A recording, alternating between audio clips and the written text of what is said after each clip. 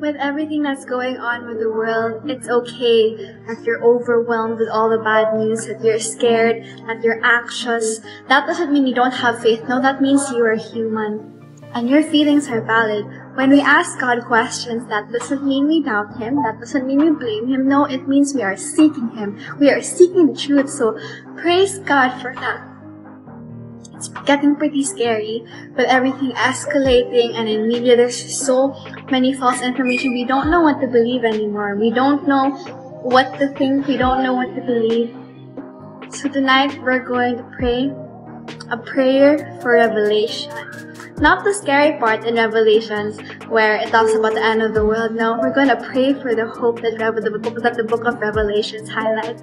Tonight we're going to pray this prayer for hope, for God to reveal Himself to us.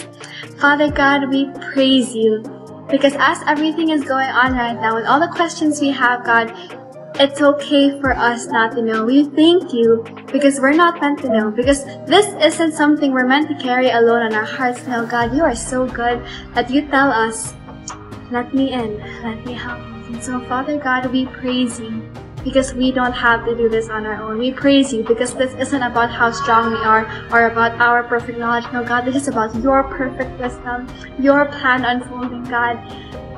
We praise you, God, because even though everything feels like it's falling apart, God, we know that on the inside, Paul says it's on the inside, you are creating a new life in us. You are making us new people, God.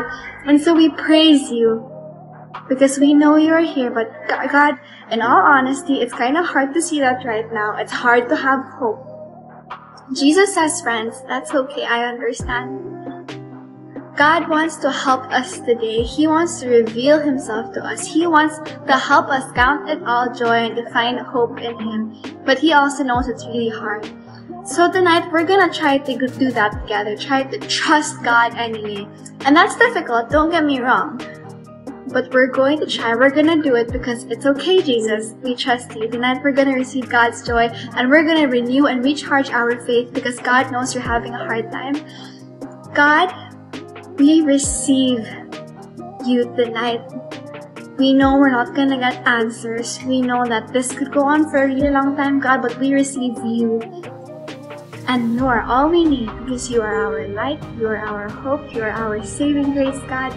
And with you, we are perfectly safe. We praise you, Father, because in you, we don't have to worry because you are still in control, because you work for our good plans to make us prosper.